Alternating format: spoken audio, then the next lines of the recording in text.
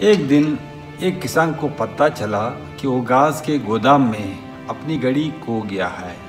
अगरचे इसकी कोई कीमत नहीं थी, लेकिन ये घड़ी किसान ने अपने एक अज़ीज़ की तरफ़ से तोहफे के तौर पर ली। गोदाम में ऊपर और नीचे बेनतीजा, तवील तलाश के बाद इसने आर मान ली।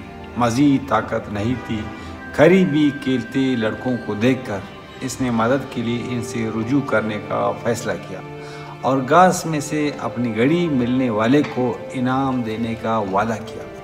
ये सुनकर लड़के एक गुरु के साथ गोदाम की तरफ़ दौड़ पड़े, ऊपर से नीचे तक पूरे ढेर पर चढ़ गए, लेकिन घड़ी न मिली।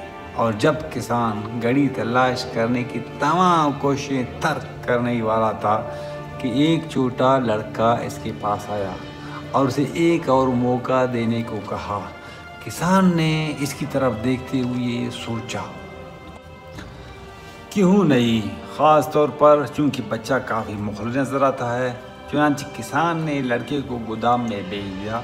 इसकी हैरत का अंदाज़ा लगाएँ, जब कुछ देर बाद वो लड़का हाथ में घड़ी लिए, गोदाम से बाहर निकला किसान ने खुशी से मालूम होकर तजस्स से पूछा कि वो कैसे ऐसा करने में कामयाब हुआ, जिसमें दूसरे लड़के नाकाम हो गए थे।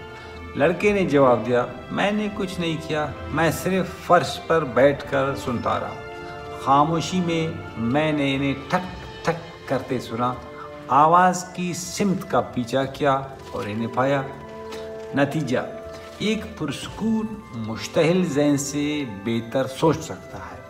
अपने दिमाग को दिन में चंद मिनट की खामोशी दें और आप देखेंगे कि आपको ज़िंदगी में मुतव के रास्ते पर जाने में कितनी जल्दी मदद करेगा और रूह खुद हमेशा जानती है कि शफा पाने के लिए क्या करना है।